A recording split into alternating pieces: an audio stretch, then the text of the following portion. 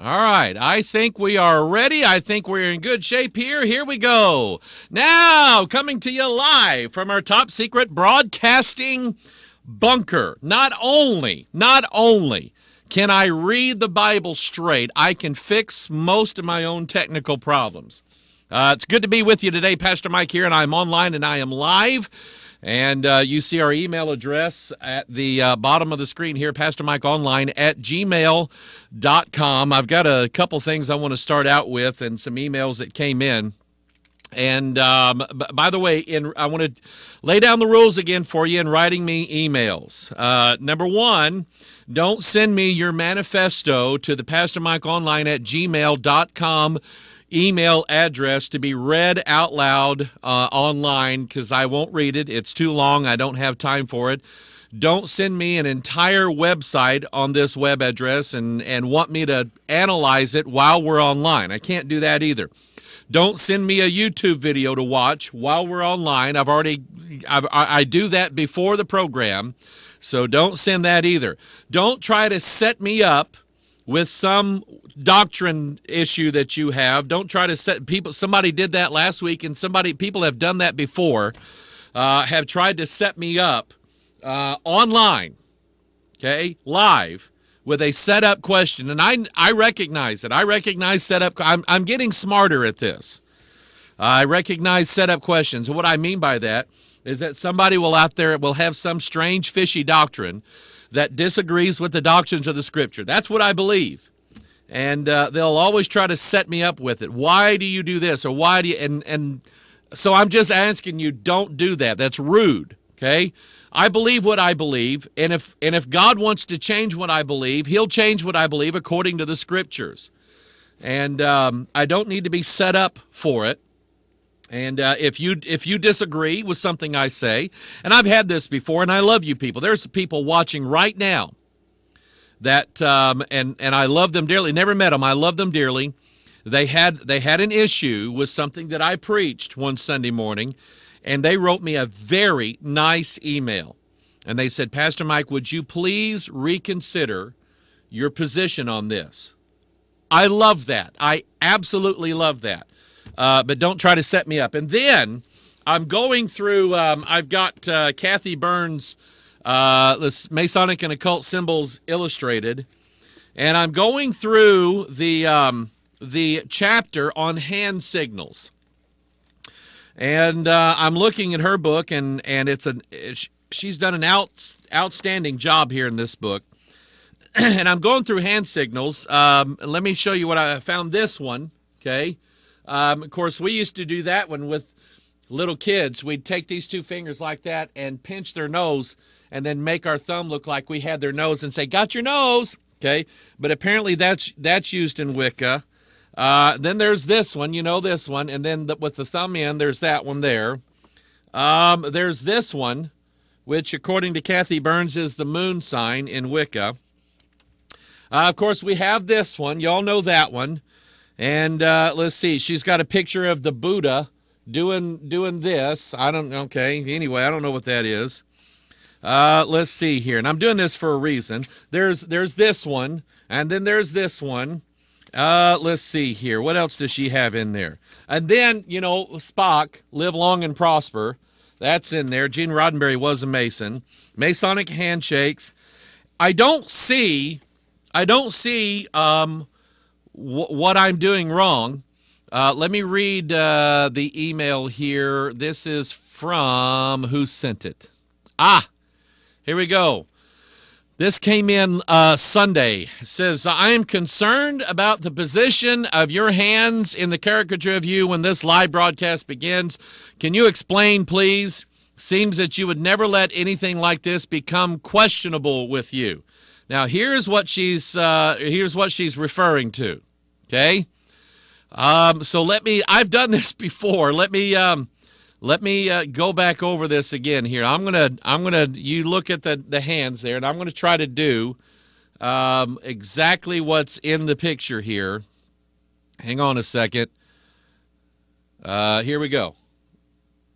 Okay. I don't know of any. I looked in the book and I didn't see this in there. Okay. I didn't I didn't see that in there. And so it's just a caricature, people.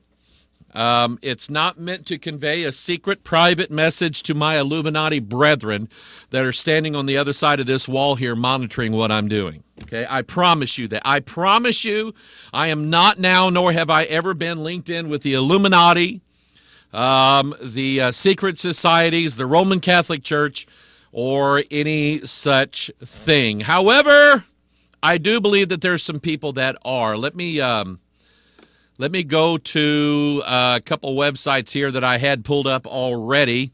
And uh, good to have you with us today. Let's see, what did I want to deal with first? Oh, this story's been making rounds about, uh, you know, this new Bible translation that came out from uh, the Wycliffe Bible translators that was being published. Uh, to uh, some areas of the world where it's known to have a um, uh, a lot of a lot of I'm I'm cracking up here. Somebody on Skype just wrote in and said, "If thy hand offend thee, cut it off." Only joking. It's uh, I'm not ready to do that one yet. Uh, but anyway, this uh, this Bible translation that uh, the Wycliffe Bible translators et al., which means and others. Uh, put out there in some of these Muslim countries that eliminated the the terms of like God, God the Father, and the Son of God, and uh, and things like that, and a lot of uproar. Even people, even people who favored all these different translations, they looked at this one and they're going, "That is not right." And so uh, here is the retaliation of that. Here is the um, what website is this from? MyWordLikeFire.wordpress.com. Presbyterian Church of Pakistan says no to Wycliffe Bible mistranslation. Uh, the following is from Shepherd's Heart uh, which you can link to at the end of this last paragraph. Reverend Altaf Khan notes the Presbyterian Church of Pakistan has firmly rejected the Wycliffe debibleizing attempt.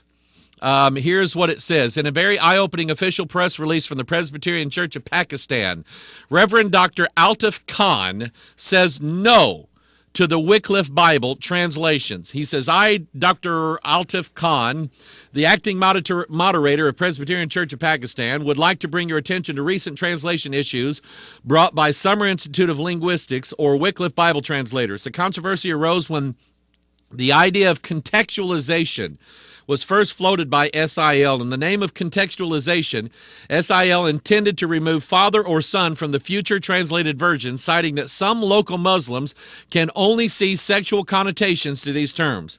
PCP in its General Assembly held in November 2011 um, an executive meeting and multiple gatherings in different cities where Christian leaders from all denominations participated, has publicly condemned such justifications for the sake of a convenient translation. In this regard, PCP board members unanimously passed the following submissions, and then they go on to enumerate what they did. You know, basically, what they're saying is, you're offering that to us? No thanks. We don't want it. We want a Bible. Listen to this now we want a Bible that actually tells the truth about who God is. And if one billion Muslims on this world can't handle that, then stinks to be them. We can't change the Word of God to fit everybody's context. That's what's being done in the Muslim world by Wycliffe translators. That's what's being done in the uh, in the American English world with the NIV, the New American Standard, the Message Bible, or whatever whatever Bible du jour is coming out there, they're contextualizing the scriptures, which basically means they're trying to make it fit into the context of our lives so that it's real and that we can relate to it and and all of this other jive talk that they give to to to uh, justify what it is they're doing with the scriptures. And so Pakistan, the churches in Pakistan said, forget it. Don't bother. Uh, we don't want your nasty, stinking Bible. Uh, we'll just keep the one that actually calls God the Father and Jesus the Son. That's what we'll do. And you know what? I wish some American churches would stand up to Zondervan, stand up to Thomas Nelson, stand up to these. You know what? I just did it. I just made a hand gesture. Stand up to all these other groups that, that publish these stupid Bibles and say, we don't want it. We absolutely don't want it. But I think, I think I know what's happened. I think that behind the scenes, I think the Bible publishers got in with the big wigs and the denominations. And they said, uh, hey, uh, here, here's what we'll do, see.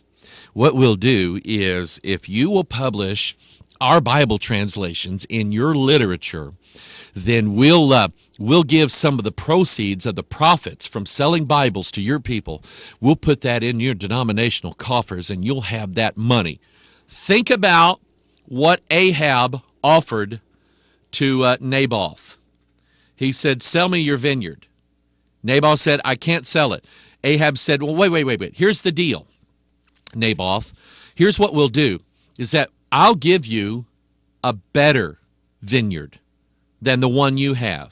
Okay? That's what they're saying. They're saying, really, the NIV is a better translation than the King James. Or he said, and you know what? I'll give you money. money is what you want. And Nabal said, you know what? I, I'm, I'm sorry. My hands are tied. It's against the law. I cannot sell my vineyard. Case closed. Along comes Jezebel. You know Jezebel, don't you? She looks like, uh, Jezebel looks like this. Okay? That's who Jezebel looks like. That's Mystery Babylon the Great. Uh, and you know what? Uh, let me uh, take a look at that. Take a look at that picture because I'm going to deal with it here in a little bit. Uh, I want you to note that she is dressed in scarlet. And we will talk about her shortly. What else did I have pulled up here? So, anyway, Pakistan says uh, uh, keep your Bible. We don't want it. Um, naturalnews.com is reporting genetically modified mosquitoes may soon be released in Florida. Haven't they seen this movie? I have. I've seen this movie. It's been out in about 10 or 15 different versions of this movie where the evil scientist, or no, the good natured scientists in the lab coats, they genetically modify something and it gets loose and it never turns out good. Never. It never turns out good. So for some reason, some reason, the scientists think that if we genetically if we genetically modify the corn, if we genetically modify the soybeans, if we genetically modify the wheat, if we genetically modify the pigs, the cows, the chickens, the goats, if we genetically modify the mosquitoes, and, and oh, you know, while we're at it, let's genetically modify human beings as well. They, for some reason, think that that's going to turn out good.